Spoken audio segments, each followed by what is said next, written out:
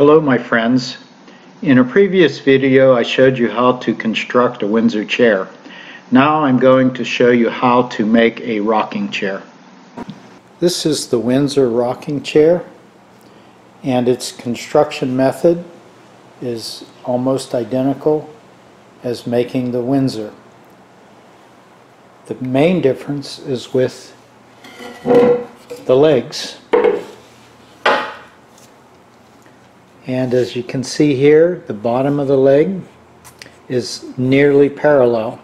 And that allows a thicker base to be able to attach the rocker.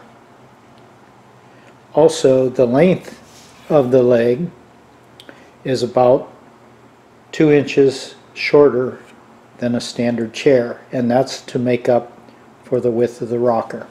So these finish at about 13 inches from the bottom of the chair to the bottom of the leg. The rocker itself, the dimension is about two and a quarter and the length of the rocker is measuring approximately 30 inches. Now to make this there is an arc, the radius this radius. And this radius for this particular rocker, and most rockers are about the same, is a 52 inch radius. So when I made my pattern, I drew it on the floor uh, in the garage with chalk. And that allowed me to get my radius for the rocker.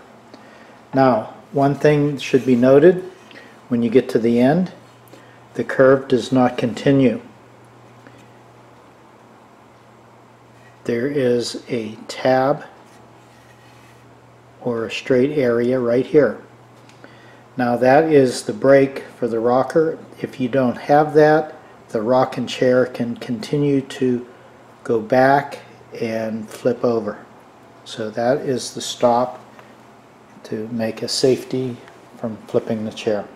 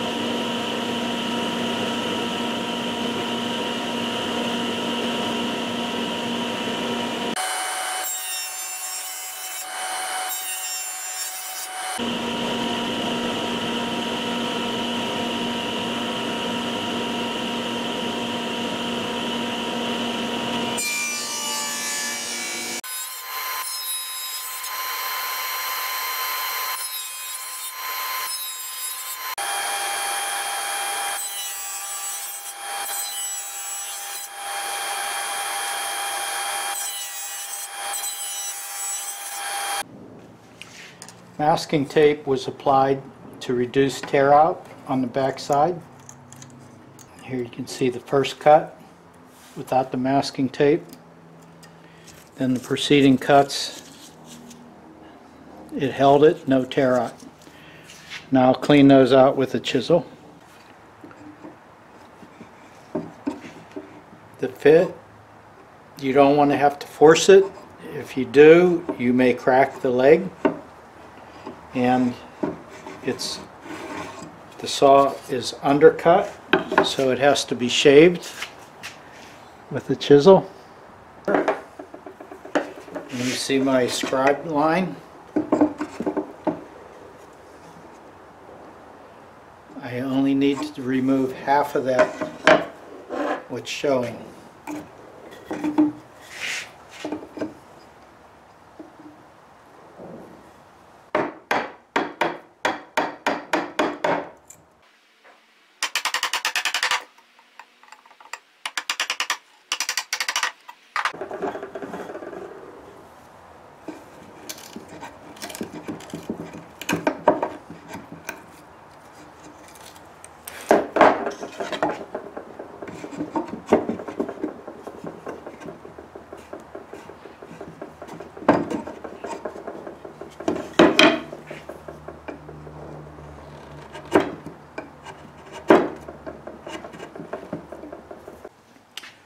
because the rocker has a curve and we cut straight, we have this gap and that'll be on both of the legs.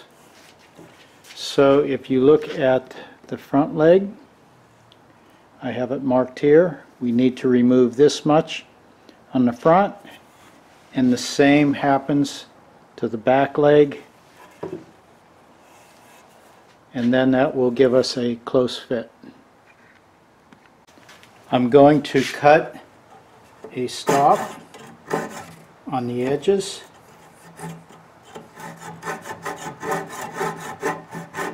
Then I'll take the rest out with the chisel.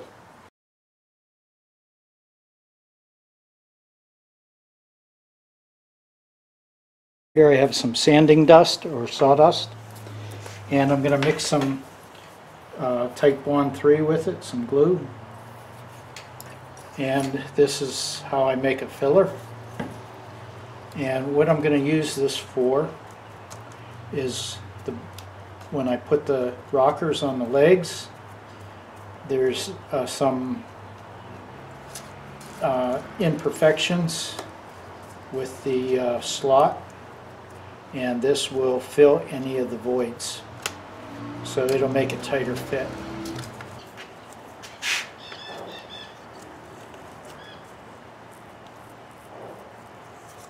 And we don't want to overdo it.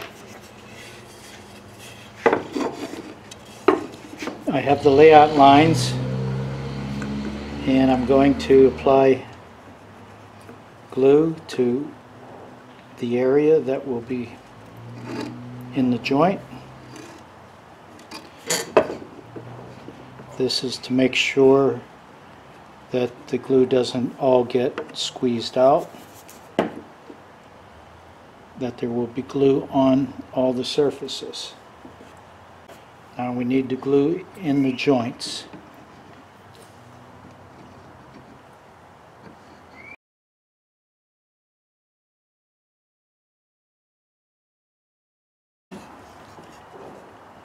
Okay, now I have the layout lines on there.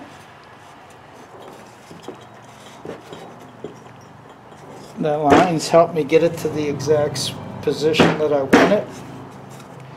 And it was tighter, and that's because the glue already started to make the wood swell. Now, what's gonna make this permanent is I'm going to pin this. So I have the depth marked on the 3 8 bit, but I'm going to start with a quarter inch.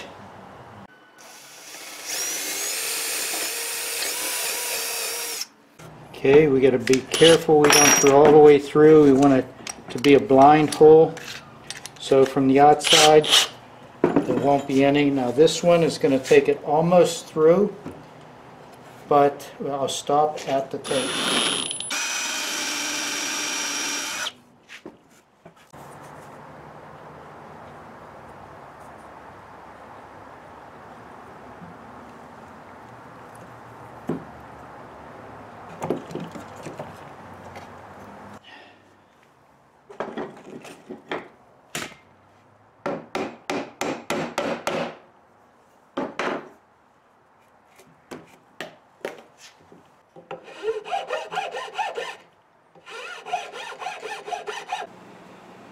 The Windsor chair is a very comfortable chair. The rocker is an extremely nice chair to have.